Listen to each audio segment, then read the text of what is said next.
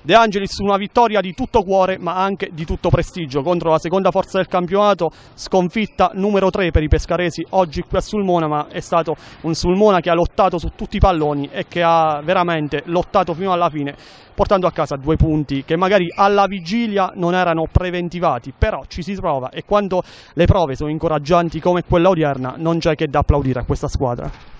Allora, oggi è stata la classica partita post feste, quindi un po' giocatori arrugginiti, soprattutto sotto il profilo agonistico, gli manca il ritmo partita, si perde eh, purtroppo a questi livelli dopo 20 giorni diciamo di inattività agonistica perché poi gli allenamenti sono stati portati regolarmente. Per quanto riguarda la partita in sé, quindi la partita non è stata bella tecnicamente, è stata sicuramente molto intensa. La vittoria inaspettata sì perché giochiamo con la seconda in classifica, ma anche all'andata andata quando abbiamo perso i 10 punti lì noi siamo stati in partita fino a 3 minuti alla fine, quindi mh, posso dire il, il valore dei giocatori sicuramente è più alto al, per loro, ma per quanto riguarda poi in campo abbiamo dimostrato che possiamo comunque stare a giocarla, fino a 3 minuti alla fine possiamo giocare, oggi è andata bene, l'andata abbiamo perso noi. Un Pescara che si era riportato veramente a pochissimo, a meno 3, a meno 2, ha temuto per qualche istante di non farcela.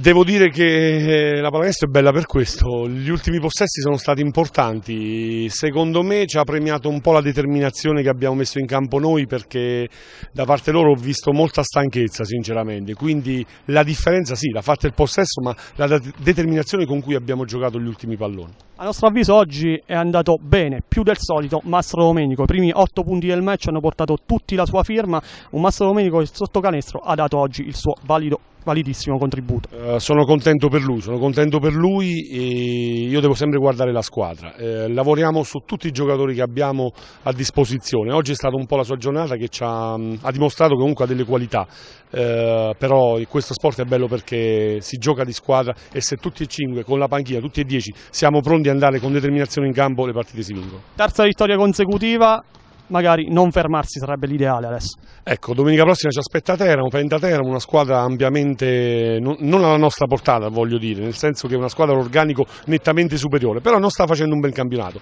Devo dire che prima della sosta natalizia stava recuperando abbastanza bene, probabilmente gli ingranaggi cominciavano a girare. Speriamo che la, la sosta anche a loro abbia procurato qualche problemino. Antonio Stilla, tanta fisicità sotto canestro da parte tua, però il tuo contributo non è bastato al Pescara Basket che oggi a Sulmona ha rimediato la terza sconfitta stagionale. Al termine di un match, a nostro parere, magari un po' sottotono da parte della seconda forza del campionato. Sì, innanzitutto complimenti a Sulmona perché ha fatto una bella partita. Poi noi veniamo da una settimana in cui ci siamo allenati sempre in cinque, Nicola Cantatore non, non sta giocando, non sta allenando da un mese, Daniele Dir Giorgio due mesi con il gesso in più oggi abbiamo avuto un po' di problemini anche fisici noi prima della partita, quindi pazienza. Questo non significa che complimenti a Sulmona.